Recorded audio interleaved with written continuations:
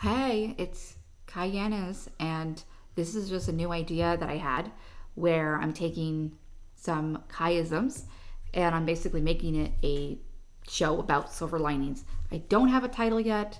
I um, don't even have music or true intro, but it's just my way of throwing something out there and seeing if it works. So enjoy. Hey, so what's been going on? Now that we have some had some time to talk, you seem you seem like you've been a little grumpy. Everything okay? I mean, it's hard not to be right now. It's, everything in the news is just bananas, uh, and I don't mean the, the kind that our daughter likes to have. I mean, just like it's very upsetting between the political stuff and now the coronavirus, and now just being stuck indoors. It's just like it's ridiculous, and it's hard to find kind of like the light at the end of the tunnel, so to speak. I know, and the whole level of uncertainty, and every hour, every day, something is changing in all of our lives around the world. Yeah, it's a lot. It's a lot to keep up with, and I for sure um, empathize with you and feeling a little bit about that myself.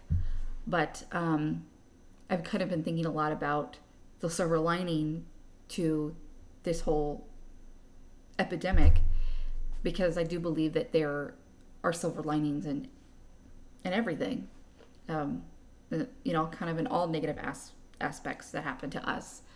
So, the first silver lining to this is I'm getting more time with you and and our daughter, you know? Like I I'm now home a lot, okay, all the time.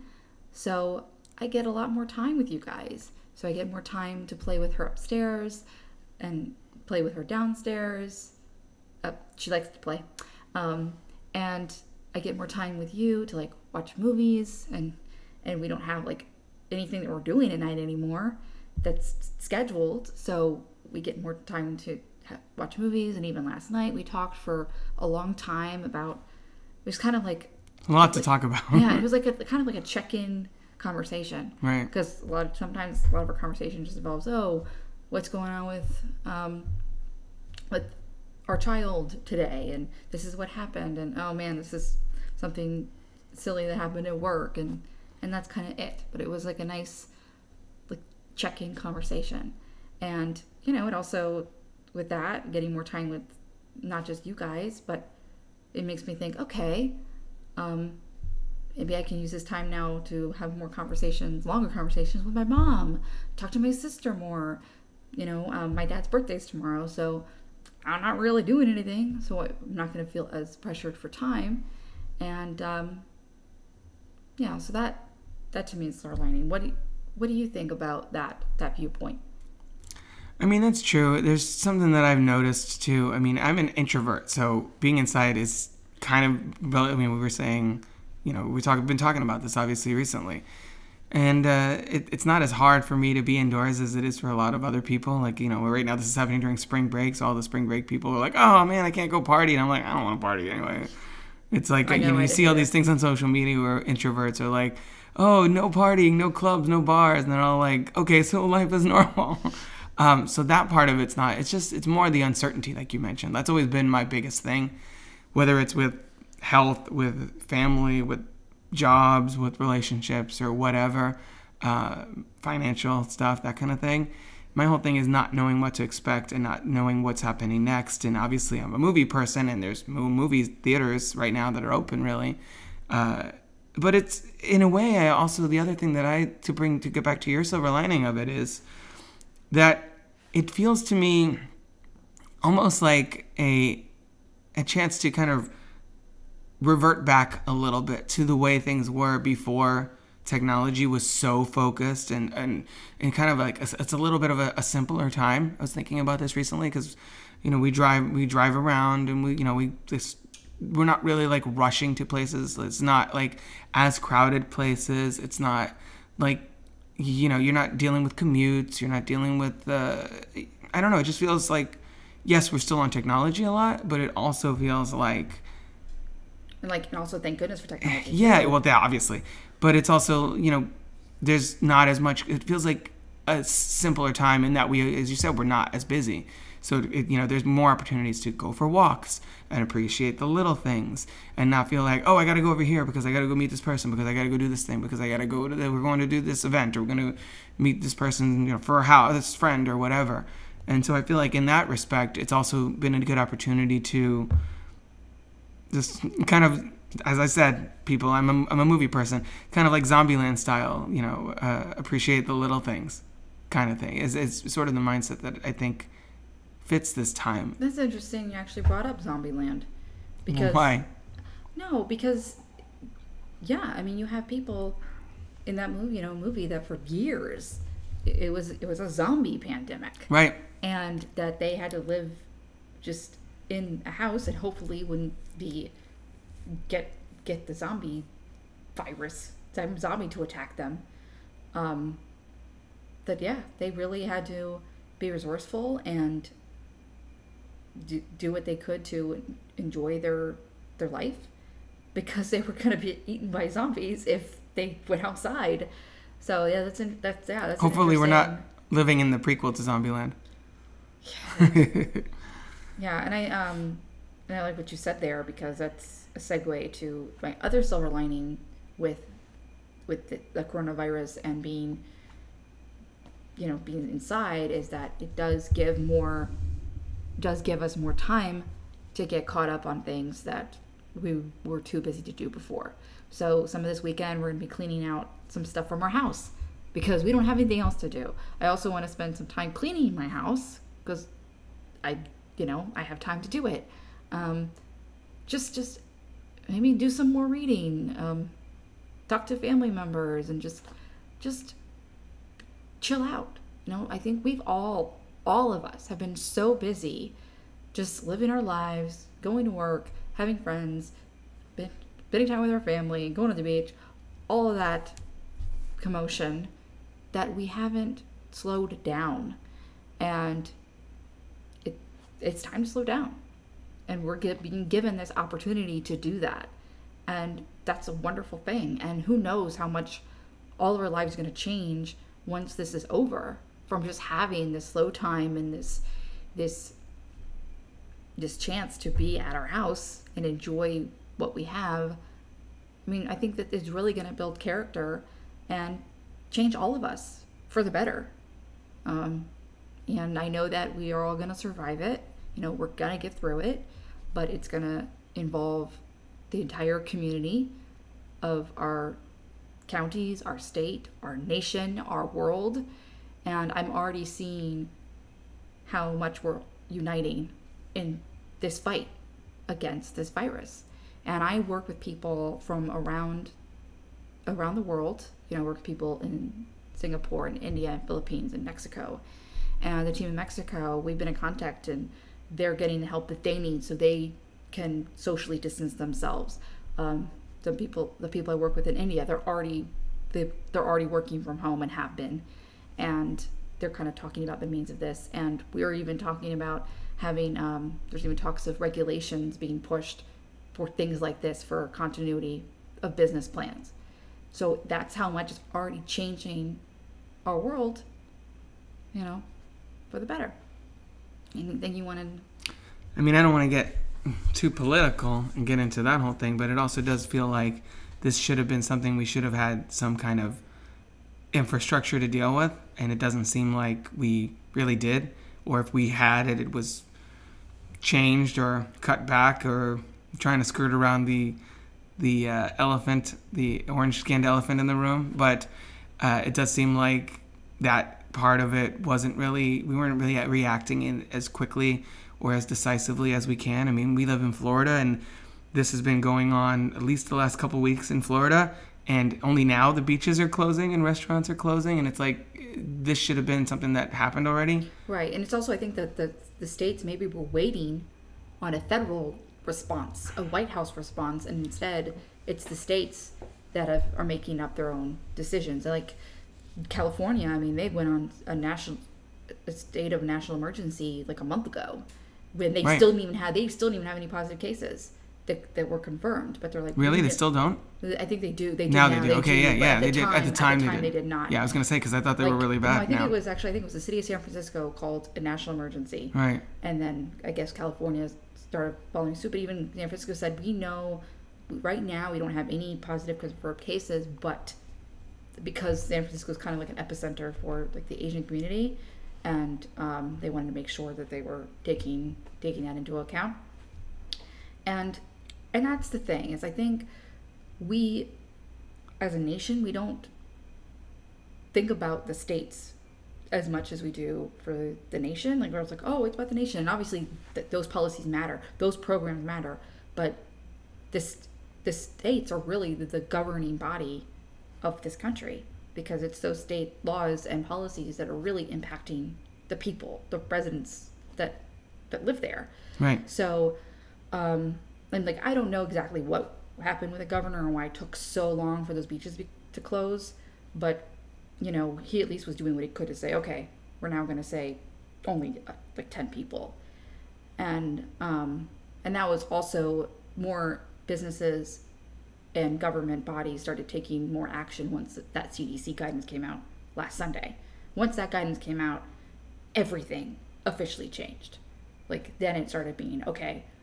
We're not gonna just socially be distancing ourselves. We're now just gonna start closing things down because it's not even meeting the guidance. That's when we started realizing, okay, we may not be having any plans Memorial Day. And we do have plans for Memorial Day. We're supposed to we're supposed to go to a wedding for a family member of mine, and I don't think that's gonna happen with everything that's going on and with the eight week they're think they're saying eight weeks. You know, who knows? Yeah, going back to your uncertainty thing, it's also like I said, it's it feels like we're all in this together, but that's the citizens, and it feels like there's a failure in leadership, which means it's kind of a loss of faith collectively as a nation in how this is being handled and or the potential for a swift resolution. You know, it's they're called precautions because they're supposed to happen before things get bad. If things are already starting to get bad, that's a post caution, I guess. That's not even a word for a reason. Yeah, and the thing is, we have like people, people I work with in Mexico, they're already taking precautions. Like the people I work with, they work in a like a small a small city, and they still haven't had any positive confirmed cases, but they're still like closing things down because they're taking precautions because they already know that this could be coming, and it could be coming because of the United States too, like you know bringing things over the border or whatever. Um, so yeah, I mean it's it's unfortunate and and I don't know I don't know what went wrong in Italy. From what I've read, a lot of what went wrong in Italy is the same thing that's going wrong here. That people didn't take it seriously, that people just kept living going out living their lives. And, you know, Italy is a very bad place right now. You know, they're now in a worse place than China was. And it's interesting kind of um, with all of our eyes on China because now people in China are starting to recover and they're trying to see now what's going to happen with the virus. So, like, so that's how they're, we were kind of already getting an idea about what's going to happen because China's been that guiding, that guiding force on what could happen. And um, I think we're in it for the long haul. Yeah, but in the meantime, it's all about, I guess, adjusting to this temporary, hopefully, new lifestyle, find, trying to find ways to enjoy it. And like you said, the whole point of this conversation to find the silver lining in it. And I guess, you know, spending more time with the people in your household is good. You can't really hang out with friends or much or anything at this point. But so let me ask you then. Well- uh, uh, let me ask. Let me ask you then. For people that are feeling cut off from their social circle, what eh, you know if because I you know I would like to reach out to people and you know friends and and, and you can do some of that in social media, but it's also it lacks the intimacy of having that face to face interaction. Is there what would you recommend to people listening for that? Um, if they want interaction, Yeah, to talk to their their friends or family members that they can't literally can't see right now because everybody, including Gal Gadot and all, every- all these famous people, are doing self quarantine and stuff. Well, I mean, I think that's what's so great about technology and, you know, social media. And I mean, I have a whole, I have an iPhone and I have a folder that just said social media. So it's it's being it's seeing what's going on through Facebook, which a lot of times is actually terrible because it's all about coronavirus. Because this is all that this is all that we pretty much talk about now because it's you know altering all of our lives. Um, of course, there's Twitter if you're into that. I'm not really. There's Instagram, but um, one thing I'm trying to get back into is an app I downloaded a while back called Marco Polo. So that gives you an opportunity to do like video chats without the person even being there. So it's like pre-recorded, and then the person can watch it whenever they want. So I think that that would be a, and it kind of fell out of, I kind of stopped doing it, using it, but I want to get back to that. Because, this is a good opportunity. Yeah, and you know, and of course, texting, um, the phone. I mean, like I the other night I had a conversation with my mom for two hours because we didn't really have anything going on and we hadn't really talked for a while and um, so you really can't really beat a phone call. I'm really getting to reach out and talk with people. And I, um, and when all this really started, because I've, I've been working from home since last week, but um, I know that kind of the, the self, social distancing, self isolation more started happening earlier this week. So when that all happened, I reached out to all all my good friends just to check in, um, see what they were up to, see if they needed anything, just to say hi and let them know I was thinking of them. And, um, you know, and I think that that went, I think that went a long way, at least with me. I think in my heart, like that felt good to reach out. So I definitely recommend just reach out to people. Um, don't be shy if you haven't, con- you know, talked to that person for a while. I'm sure they'd love to hear from you. And I even say this to myself. There are some friends that I need to reach out to them and kind of be like, I know it's been a while, but I want to check in on you and, and say hi.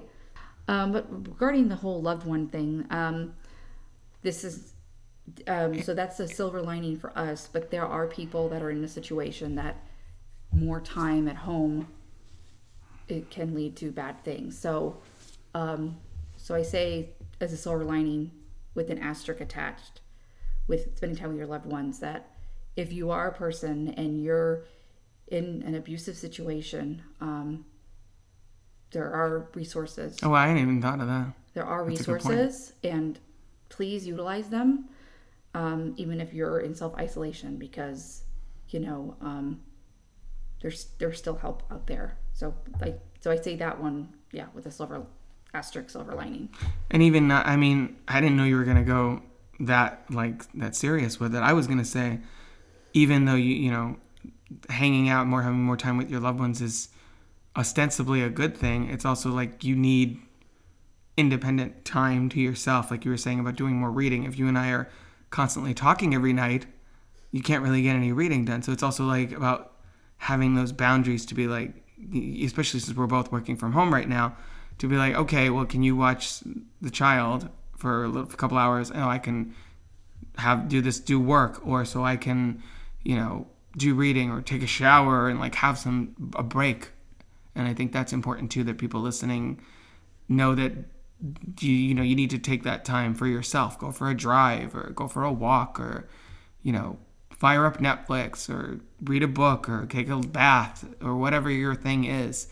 Uh, i think it's important for people to also know that, that that's important to respect each other's privacy and uh, not privacy but like personal time to them.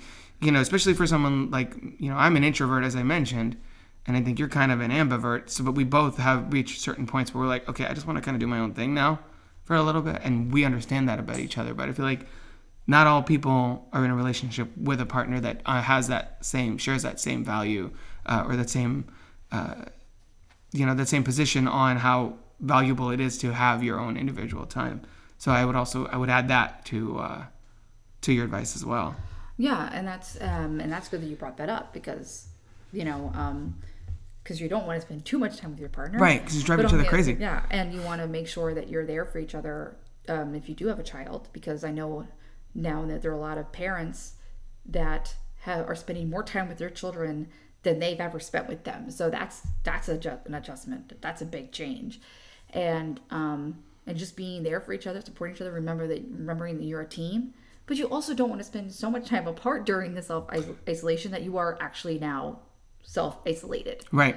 Um, so you know, just yeah, finding that balance between spending time with your loved ones, but also spending time by yourself.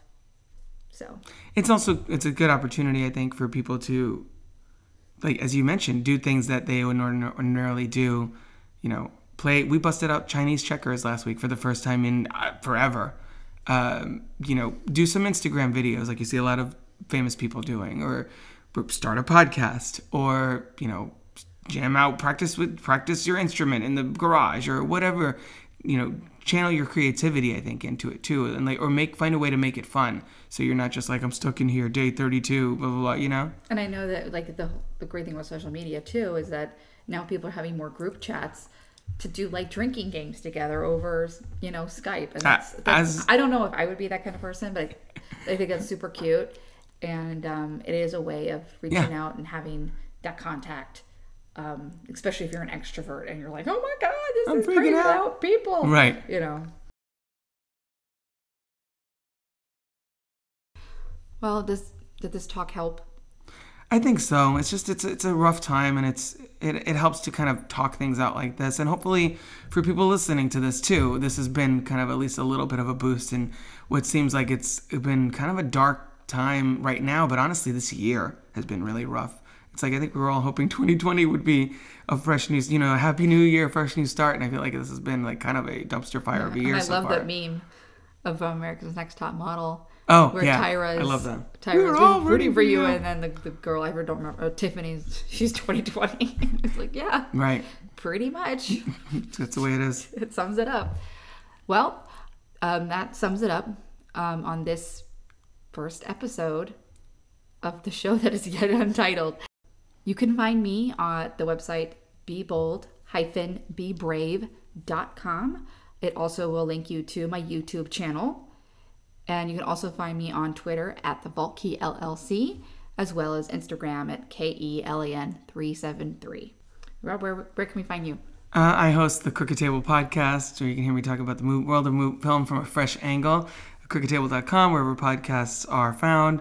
And you can follow me personally on Twitter at Robert Yaniz Jr. That's Y A N I Z, uh, Junior Jr. All right. Bye.